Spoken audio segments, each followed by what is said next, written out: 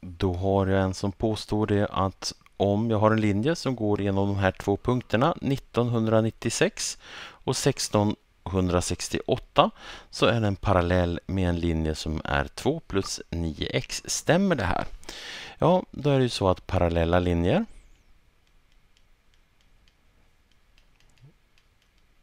har samma lutning.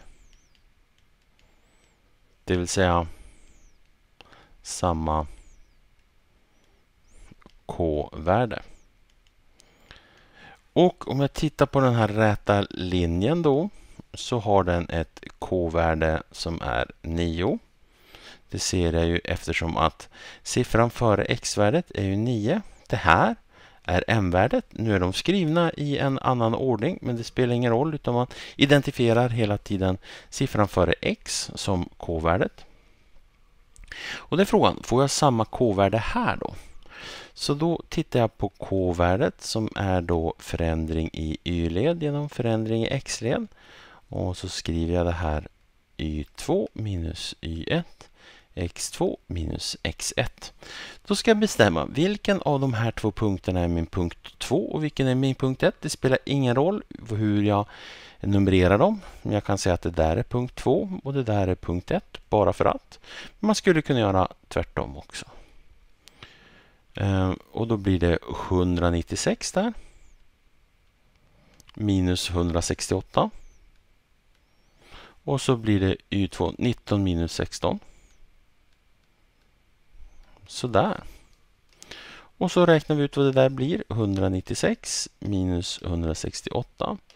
Det är 28. Genom 3. Sådär. Och 28 genom 3, det känner vi igen. Det blir 9,33333. Sådär. Så K-värdet är eh, 9,333. Fortsätter sådär va. Så den här, det här värdet är inte 9. Så svar. Eftersom det inte har samma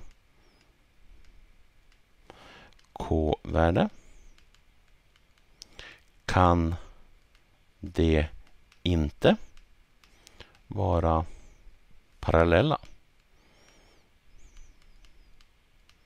Sådär.